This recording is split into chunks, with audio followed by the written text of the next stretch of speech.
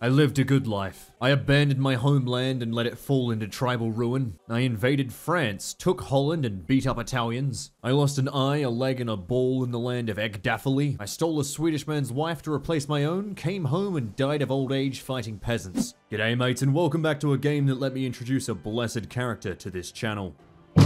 Hello there! Have you heard the good word? I actually still have the Bible. It's right here. It sits on my desk all the time. So once again, the kind folks at Paradox are sponsoring today's video, this time to promote the Northern Lords. But even better, the base game of Crusader Kings 3 is free to play for a whole week if you click the link down in the description below. There's a free update to add dueling, poetry, and a German's worst nightmare, winter. We, however, are going to be looking at the Northern Lords, with its special feature, the ability to adventure, also known as the ability to go beat up French people anywhere in this world without being forced to be a Frenchman yourself. Personally, I prefer my Norseman boneless, but this time we'll be taking Bjorn Ironside. You'll see why in just a moment. Welcome to the cold, cold north, and like every Norseman, I want to leave. Thankfully, in the year of our Lord 1867, there are many Frenchmen we can pick from to bully, but to start with, we needed enough prestige to be allowed to leave our home. We start by wasting the entire kingdom's coffers on feasts and hunts, and also ignoring our obligation to invade England. Sorry, but it's a few years too early for there to be Frenchmen in England. The Finnish have taken this moment to try and raid me, and much like the Danish in the south, I'm going to beat them with a stick. Get back across the river, Legolas. One nice thing about being a Norseman is the medieval equivalent of Tinder. Ah, yes. Swipe right. I am now officially a man. What? The finisher back! I was busy trying to do things, you Finnish bastards! It's time to leave. Wow, that was really easy, actually. We're gonna start praying to Allure, whose name I'm sure I mispronounced, I'm about to have a pagan historian in the comments tell me why I'm wrong. Oh my god, the god has been reincarnated as my granddaughter. And there we go. We can now get Wanderlust, which is gonna give us an increased diplomatic range, some bonus troops when adventuring, and we can send to the Varangian Guard. Take him to Detroit. No! No, not Detroit! Now it is time to go on our adventure. I think Lothaire's a good pick. He's French, he's Catholic, and he's not as strong as his brother. Now here's the best part. Anyone launching their first Varangian adventure gets 2,000 bonus soldiers, except I have Adventurer. Gives us bonus troops above the cap. The first thing I do is pick what I want to invade. We've got a lot of good choices here. Bar, Luxembourg, Holland. I think the correct choice will have to be Holland, however, because we don't intend to stop our adventuring here. Oh no. Would you look at that? 3,000 men just for free. Sure, let's go. Not only that, but these units are great. We have got Varangian veterans, Huskarls, we've got some Bondi, We've got some Vigmen, which I don't know what the hell those are. Looks like they're nerd speak for archers. And we're here. Sadly, no Frenchmen have come out yet, but I'm sure they'll be here soon. They're bringing the Italians with them too, it looks like. What in the goddamn? Oh my god, it keeps going. There's more of them. Poran, Poran. He really, really wants me to take this woman, huh? Uh, well, no Frenchmen have come to fight us yet, so like any good Germanic army, we're staying north of the Rhine. Oh, well, the first people to show up here are the Italians. The Virgin Bowmen versus the Chad Vigmen. Ah, winter's setting in. The perfect time to fight. Is that a church I see? Viking brain activates. It's good to see the Frenchmen are literally just suiciding themselves into my superior force by now. Oh, and they're gone. Goodbye. I think I just Thanos snapped all French people. Meanwhile, back in my homeland, the Finnish are raiding again. I've solved the Finnish problem by just moving house. Finally, victory is mine. And just in time, because it turns out the Byzantiums... At what? I was gonna say it turns out the French got an army, but it turns out no, that the Eastern Romans have decided to come help. Okay. Now here's the fun part about being an adventurer. My Yaldum is just destroyed. I get the trade adventurer and a bunch of other things I get as well, but um, if I do this, then we go look back at our homeland. It's just kind of broken. I'm sure this whole thing isn't just a succession crisis waiting to happen. I love the fact that as king, I just left. I'm just like, no, I don't want to live here anymore. I just left and took a bunch of soldiers with me and never coming home. The kingdom doesn't even exist anymore. Now, we may have significantly less levies than before, but I'm sure we'll be fine. Let's just disband our armies and relax. And it's time to raise a runestone in Holland, dedicated to my vanquished foe, King Lothar. We literally just painted a giant rock to say that we beat the French. I like your words, funny magic box. No, I'm gonna heed them. My wife is fucking my son. I'm not even on the boat to go raid yet, and you're banging each other. In my bedroom in my chambers, on my stolen French bed. Those two better be outside of each other by the time I'm home. Aha! I have captured a new wife in my raid. I shall replace my own with this one. Hello family, I'm home and I've brought me a cute redhead. It turns out you do need bones to live after all, as my brother's now dead. I'm gonna build him an ornate sailing ship. Damn, turns out brother's funeral, really good way to de-stress and just chill out a bit. Oh hey, the woman I stole gave me a child. Um, also I just remembered she was someone's wife, wasn't she? I did just steal a person's wife and take them back to France. Oh god. This is now officially an NTR video. Oh, while helping some allies out, I've lost a leg and become wounded and lost an eye. On the plus side, everyone likes me because I look like Odin now. Damn, turns out the girl I kidnapped is now trying to seduce me. I know we're both Swedish, but you don't need to have Stockholm Syndrome. We fucked in a public toilet.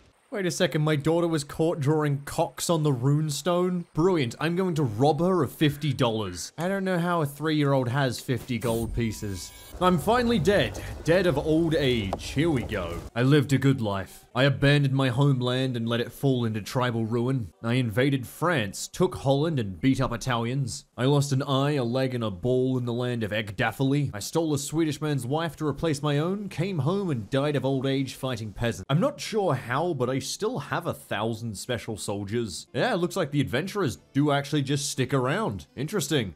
It has been I think like 20 years, so they're all probably very old and angry now. Oh god, I've just created the Norse version of Le Grognards. Wait, I'm one-legged now as well? Oh god, they cut my leg off to fix the gout. Why does this event remind me of Dwarf Fortress? The runes carved into the haft are indecipherable.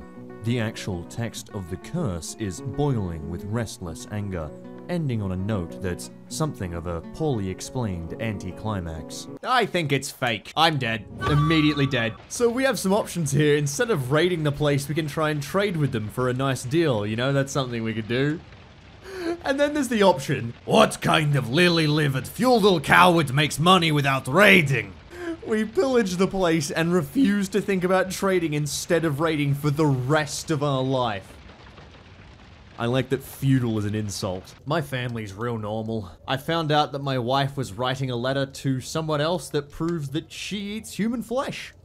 Thanks, babe. I think we've all had enough of Holland, and it's time to move on, to leave another land without its king. There's many good picks, but unfortunately the furthest we can go is about... Oh boy. Aghlabid. Nailed it. As much as I do want to adventure to India, it's sadly out of my reach. But I did see something that is in my reach. Varangian adventure against the papacy. Alright. Wait, I'm still getting special soldiers. I don't know why, but I can. Goodbye, fair Holland. I, uh, I say I'd miss you, but I really did downgrade by coming here, huh? Yeah. I used to own most of Sweden. And look at it now. Denmark owns it now. Turns out Rome's actually really well defended. It's gonna take ages to break through. Holy shit, the garrison of Rome is 2,100. My god. I actually had to restart the invasion because every time I tried to take a place, the Pope just bought more mercenaries. Turns out the Pope is rich as shit, bro. Oh god. I just had to live, die, and repeat, except instead of D-Day, it's just Norsemen landing in Rome over and over again. So it turns out the Pope is just made of money and he just kept buying mercenaries and they wouldn't stop. I just want to die. But anyway, I just burnt down everything except Rome, and then Rome surrendered. That's kind of weird. Damn. Alright, I'm gonna take this now. According to Norse law, after raiding and looting the Pope's home, I am officially now the new Pope. I guess I could just convert to Catholicism, right? I guess I can become Italian. I don't know what's funnier, converting to Catholicism and becoming Italian after invading Italy, or just turning Rome Norse. I'm honestly unsure. Well, now that we're done with Sardinia, I'm going to echo the words of Cato the Elder and say that Carthage must be destroyed. Raiding really is like the easiest way to get rich in this game. My god, I'm getting so much money from this. The first raiders of Rome. Now, this is what we refer to as an issue. See, as long as I kill enough of his soldiers that he can't siege Rome, which has 2,300 people garrisoning it, uh, he can just never win. Well, that was cool, I guess. I guess I'm just gonna go chill back in Rome. Well, it'll take a white peace. There we go. I actually successfully defended it. I thought I was gonna die horribly. But that kind of worked. As my dynasty levels up the adventure tree, we can get prestige for successfully seducing people. My guy really is everything. He's a one-legged adventurer pope who's just defeated most of Italy's army, and now he's a poet as well. Sadness in still mornings. When such beautiful countenance is hid from sight, we scream and we wail, no matter our might. When one so great falls so far, All lives, all plans are left ajar. Well, it's no Beowulf, but it'll do. The funny part about this is with all the raid loot I'm getting, I'm just rebuilding Rome to be great again.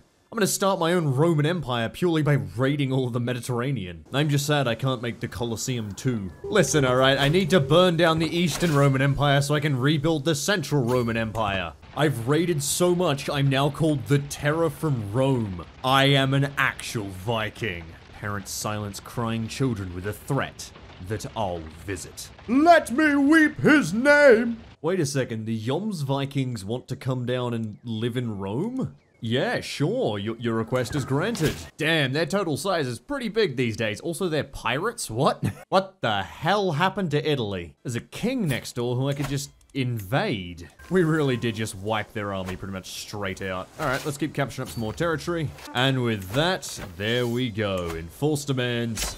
Nice.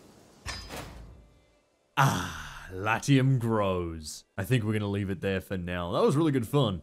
Honestly, like, the adventuring thing is just so strong. Being able to pick, like, anywhere in the world and just be like, yeah, I think I'm just gonna rock up there with 3,000 soldiers that were just given to me. Every man a Montigue. How's home doing, by the way, that place that we just abandoned?